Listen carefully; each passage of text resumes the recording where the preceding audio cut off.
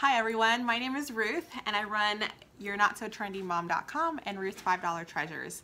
I'm going to be coming to you every Tuesday with Tip Tuesday where I'll be showing you different ways to wear your jewelry and add some versatility and longevity to your pieces and to what you have in your closet and also maybe allow you to explore pieces that maybe you wouldn't normally wear.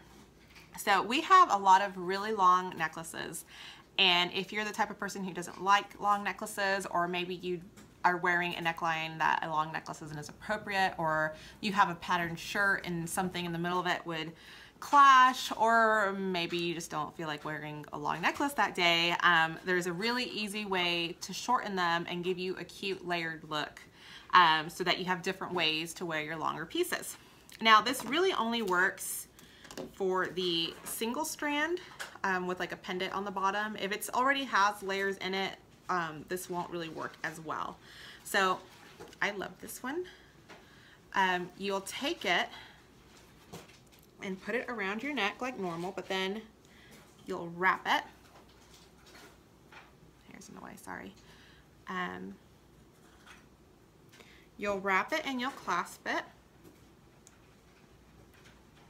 Now, you don't want this piece hanging there in the middle, so just adjust it as needed. And there you go. You've got this cute, shorter piece um, from a longer necklace. And I'll show you again with another long piece. And like I said, it really only works with the single layer. If it already has layers in it, it's gonna be harder to do. I may not even be able to do it at all. Um, so here's another pretty one that I have in my albums as of now.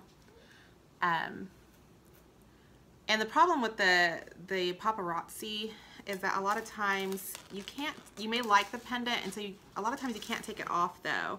Um, so you can't physically put it on a shorter strand.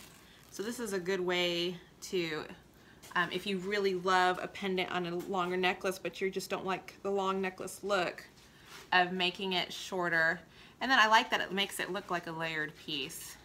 It gives it a little bit more interest. Didn't get that one in, sorry. So same concept, you just wrap it around twice. Sorry, I can't see what I'm doing. Um, you clasp it and adjust so that the, the clasp is in the back so that you're not looking at that. And there you go. Another long piece turned short. So I hope you like this tip and I hope it adds um, a little bit more to your pieces and I hope it makes you explore some pieces that maybe you wouldn't wear and um, I hope you enjoyed that. I'll see you next week. Bye.